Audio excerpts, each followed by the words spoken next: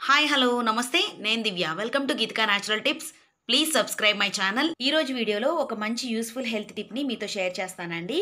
సాధారణంగా మోషన్స్ అవుతుంటే పెద్దవాళ్ళు అయితే ఒక టాబ్లెట్ వేసుకుంటారు. అదే చిన్నపిల్లలకైతే మనం వెంటనే హాస్పిటల్కి తీసుకెళ్తాం కదండి. కానీ ఇప్పుడు నేను చెప్పే రెమెడీని కనుక మీరు యూస్ చేసినట్టయితే హాస్పిటల్కి వెళ్ళాల్సిన అవసరం ఉండదు. అలాగే ట్యాబ్లెట్ వేసుకోవాల్సిన అవసరం కూడా ఉండదు. కేవలం గంట సేపట్లో మీకు మోషన్స్ అవ్వడం అనేది తగ్గిపోతుంది. చాలా ఈజీగా మనం ఈ రెమెడీని ఇంట్లోనే తయారు చేసుకోవచ్చండి. ప్రతి ఒక్కరి వంటగదిలో ఉండే వస్తువులతోటి మనం తయారు చేసుకుంటాము. కేవలం రెండు ఇంగ్రీడియంట్స్ మాత్రమే ఈ రెమెడీకి యూస్ చేస్తామండి. అది ఎలా వాడాలి ఎలా తయారు చేసుకోవాలనేది నేను చూపిస్తాను. చూసేసేయండి. ముందుగా ఈ రెమెడీ కోసం ఒక స్పూన్ పంచదార ఒక స్పూను గసగసాలని రెడీగా పెట్టుకొని ఇప్పుడు ఒక చిన్న రోల్ తీసుకొని అందులో వేసి ఫైన్ పౌడర్ లాగా దంచుకోండి. మిక్సీ జార్లో అయితే వేయకండి. మనం వేసేది తక్కువ క్వాంటిటీ కాబట్టి పౌడర్ అవ్వదు.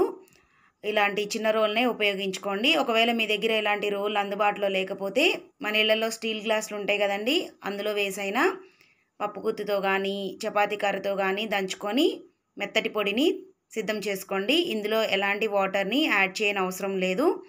షుగర్ అంతా కూడా పౌడర్ లాగా మారిపోతుంది. రెండు నిమిషాలు కూడా టైం పట్టదండి. చాలా ఈజీగా ఈ రెమెడీని మనం సిద్ధం చేసుకోవచ్చు. ఈ రెమెడీని నేను వన్ అండ్ హాఫ్ ఇయర్లో పిల్లలకి ప్రిఫర్ చేయట్లేదండి. ఆ పైబడిన వయసున్న పిల్లలకి వాడుకోవచ్చు ఎలాంటి ఇబ్బంది అయితే ఉండదు. ఇలా మెత్తగా పొడి సిద్ధం చేసుకొని ఈ రోట్లో నుంచి ఈ పౌడర్ని ఒక బౌల్లోకి తీసేసుకోండి. అంతేనండి చాలా సింపుల్గా రెడీ చేసుకోవచ్చు.